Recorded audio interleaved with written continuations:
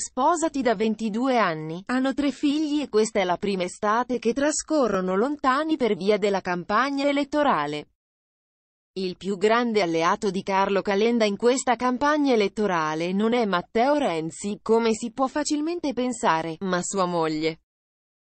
Sposato da 22 anni con Violante Guidotti, Bentivoglio, dalla quale ha avuto tre figli, il fondatore di Azione è la prima estate che trascorre lontano dalla famiglia per via degli impegni politici in vista delle elezioni del prossimo 25 settembre.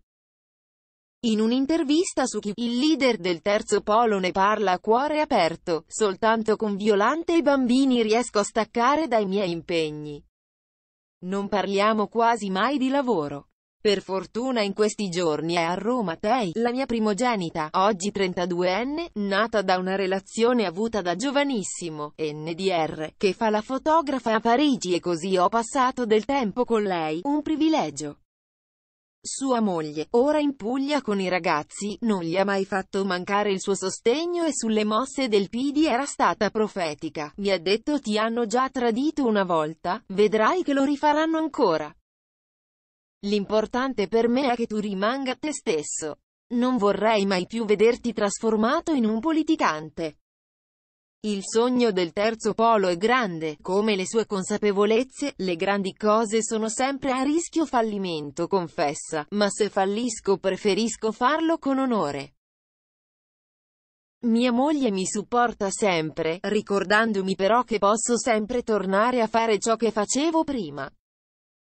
Oltre a sostenerlo, lo tiene ancorato coi piedi per terra noto per il suo ego smisurato o almeno così sostengono in molti, Calenda precisa, i politici, come gli attori, rischiano sempre di mettere in discussione il loro equilibrio. In questo mia madre Cristina Comencini, la famosa regista, NDR, abituata ad avere sempre qualcuno di famoso in famiglia, come il nonno, il regista Luigi Comencini, o mio padre scrittore, è il mio faro di rettitudine e retta e morale, con i piedi per terra come Violante.